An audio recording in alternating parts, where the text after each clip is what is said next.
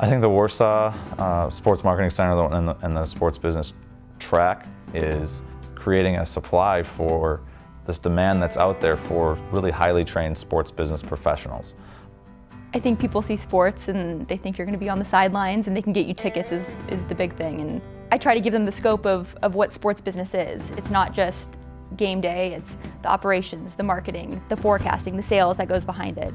I think what surprised me most about the Warsaw Sports Marketing Center was the impact of the, the namesake, or I guess the background of the namesake and Jim Warsaw.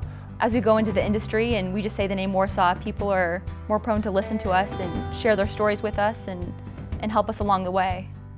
The legacy that Jim Warsaw imputed into the program was, was one of selflessness, one of giving back, and one of helping you know, students try and get a leg up and try and do the best they can in the sports marketing industry.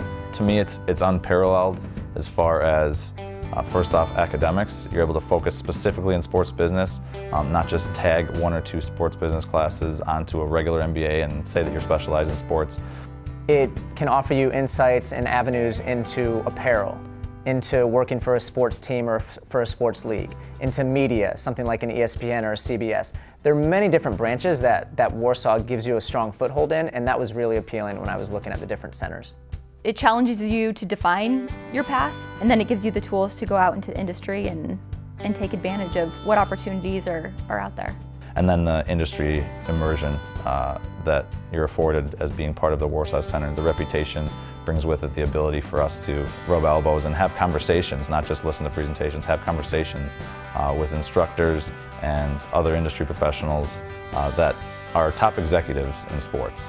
When I'm coming home from one of those Warsaw trips, whether it was to San Francisco or, or New York, a sense of validation kind of spreads over me. I, I, know I made the right decision in coming to the Oregon MBA because it's experiences like that that I signed up for and the ability to have those conversations and meet with those people when I'm coming home from those trips, it, it makes me realize I made the right decision and that I'm definitely on the right path.